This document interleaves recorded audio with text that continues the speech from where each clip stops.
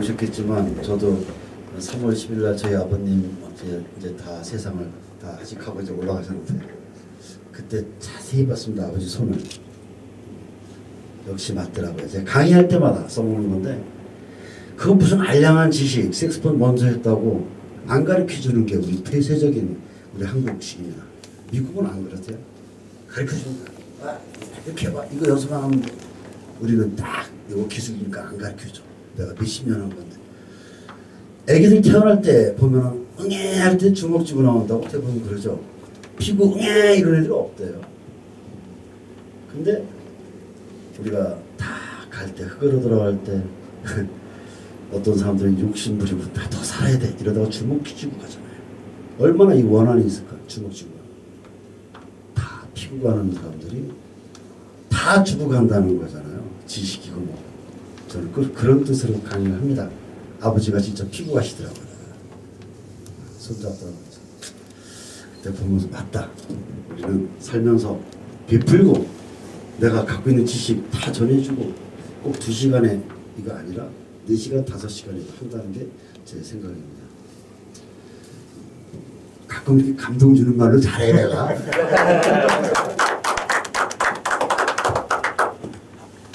이제 정리를 하면은 앞에서 기승전결이라는 걸 분명히 했어요.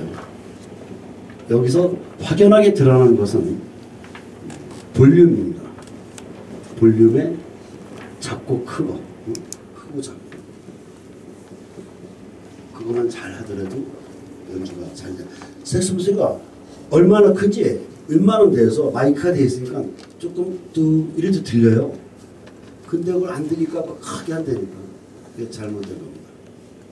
그래서 기승전결에 대해서 얘기했고 이번엔 부 뭐지 비브라토에 대해서 얘기할게요. 비브라토. 우리는 가수들은 아 이렇게 막 노래할 때 진동을 주는 걸 비브라토라고 안 그러고 뭐라 그러죠? 바이브레이션이랍니다. 그러나 이 악기에서는 현악기, 바이올린이나 이 트럼펫이나 색소폰이나 이런 악기에서는 우리는 진동을 주는 것을 비브라토라고 그러죠. 비브라토 똑같은 말입니다. 이 비브라토는 답이 딱 있습니다. 파장, 파고가 일정해야 한다. 신 회장님, 이 강의를 하게 되면 한 30분 같은데 지금 조금 더 하다가 쉬, 쉬고 1시간 한 20분씩 강의하는 게 어때요? 그죠? 네. 네, 그렇게 해도 괜찮죠? 네. 파장 파고가 일정해야 된다. 저는 교사 출신이었습니다. 교사도 뭐 중학교 고등학교가 아니라 초등학교 교사를 잠깐 했었어요. 교육대학교 나와서. 네, 요거는 제가 잘 아는데 파장 파고가 자연시간에 나오는데 이런 게 이렇게 물결치듯이 진동이 있으면은 여기서 여기까지 어떤 거리 간격을 우리는 파장이라고 그러고 여기서 여기까지 높낮이를 높고 낮음을 파고라고 합니다.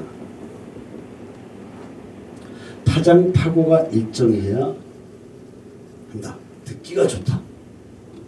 우리 원로 가수 패티김 지난번 고별 콘서트 했지만 하, 그때 보면 가을을 아 그대 하면서 이게 바이브레이션이 그대 곁에 아주 일정해요. 그러니까 듣는 사람이 편안하고 감동이 옵니다. 그러나 잘못된 가수들은 그대 가다가 찌그러지면은 가수 일류 가수가 못 되고 섹스폰도 비브라토를 배웠더라도 이것을 꾸준하게 연습하는 사람이 아빠 안 되면은 아와와 와우 아이씨 뭐 이렇게 소리 막 이렇게 나오는 거 와우 와우 이거 미친 뭐 씹듯이 이렇게 나온다. 그래서 제 방법은 간단합니다.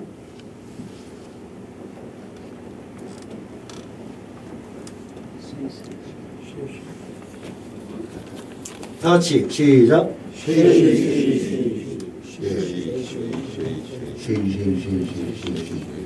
경상도 고향이신 분 한번 손 없군요. 있어요? 쉐가 잘 안 될걸요? 세이세이 돼요. 대답하세요. 세이 세이 세이. 그거 봐. 안 이제. 세기가 나오잖아요. 제가 다녀보면은 다 괜찮은데 이 부산, 마산, 경상도 분들은 쉐쉐쉐 이래 쉐가 안 돼, 쉐가. 깊게 쉐쉐쉐 이러세요. 그렇죠. 쉐쉐쉐쉐쉐. 막 후벼 파듯이 이런 소리 나와야 됩니다. 여기서 쉐. 이 쉐라는 것은 어떤 기계를 팍 찍으면 녹음실에서 쉐 그러면은 팍 이렇게 올라왔다 내려갑니다. 이게 바로 파고 아니 쉐. 쉐 그러면 푹. 이 쉐쉐쉐 이 이게 파장입니다. 다 같이 한 10초만 쉐쉐 시작.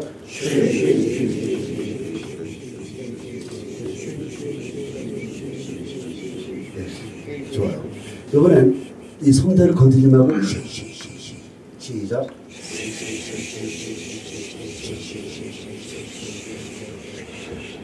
예, 좋아요. 색스폰이 없어도 얼마든지 연습할 수 있는 공간이 있습니다. 입으로. 이걸 자꾸 해보세요. 운전하면서. 그게. 하지 말고. 존나는 짓지 말고 시시만. 야, 이걸 지도하다 보니까 점잖으신 분이야. 욕도 한마디 할지도 모르고 컴퓨터에서 사장님이 있었는데 바바리 콧다 입고 그날 놓은 거야. 아, 선생님, 저 아침에 큰 봉변 나온 뻔했습니다. 왜요? 제가 지하철 타고 다니잖아요. 어, 다 와가지고 선생님이 아무 데서나 걸어 다닐 때도 그렇고 뭐할때 텔레비 볼 때도 시시해라 가지고 이걸 붙잡고 그러면 어느 사람 눈이 마주치잖아요. 이렇게 보고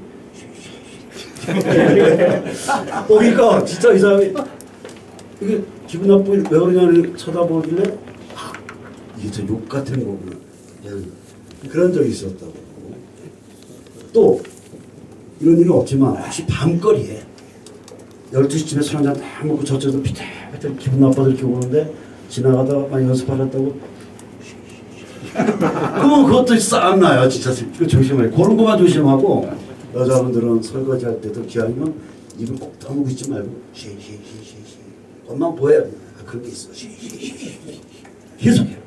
연습이 되는 겁니다. 아셨죠?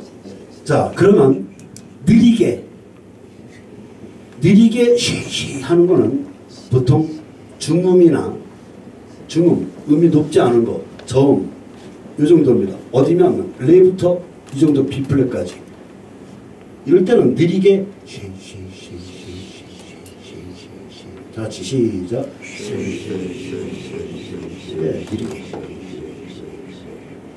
빠르게 하는 경우는 보통 음악의 클라이막스 높은 음 나올 때죠 이 정도부터 뭐 어느 정도 이렇게까지 이때는 고음이잖아요 이때는 쉐쉐쉐쉐쉐 막그 개 떨듯이 떨어져야 거예요 비 오는 날그 개 떠는 거 봤잖아. 얼마나 빠른지 제 개 두 마리 키우는데 어, 이빨라.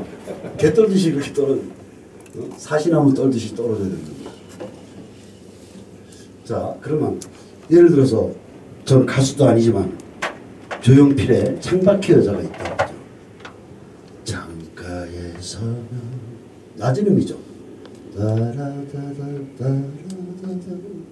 비브라토가 듣습니다. 바이블에서. 창가에 서면 이러지 창가에 서면 이러지 않잖아요.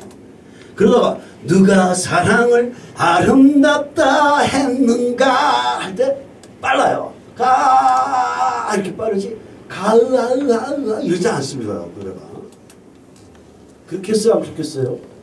클라이막스라는 건 절정이라는 것은 모든 악보상의 높은 음을 클라이막스라고 합니다. 음악에서. 그렇게 높은 음 나올 때는 비브라토를 빠르게 합니다. 제가 비브라토 시범을 한번 보일게요. 누가 대표로 악기 하나 가져오십시오. 저제 악기 말고. 비브라토 안 되시는 분, 하고 싶다 이런 분. 빨리. 비브라토가 안 된다 나는. 배우고 싶다 이러고. 갖고 오신 분이 있어요.